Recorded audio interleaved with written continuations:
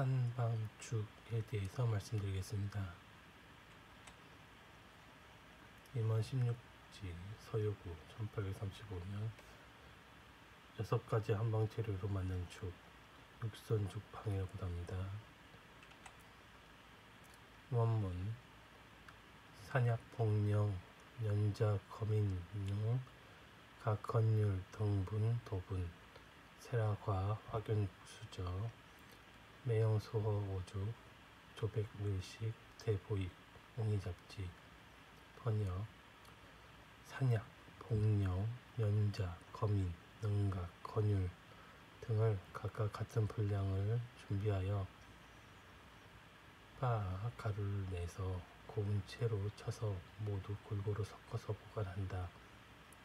쓸 때마다 조금씩 취해 죽을 끓여 흰 꿀을 섞어 먹는다. 몸을 보하는데 아주 유익하다. 오니 잡지 조리법 1.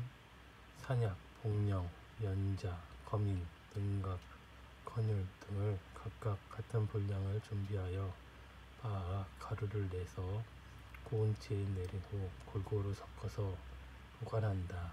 2. 가루를 조금씩 넣고 죽을 끓여 흰 꿀을 섞는다. 조리기기 고운 채입니다.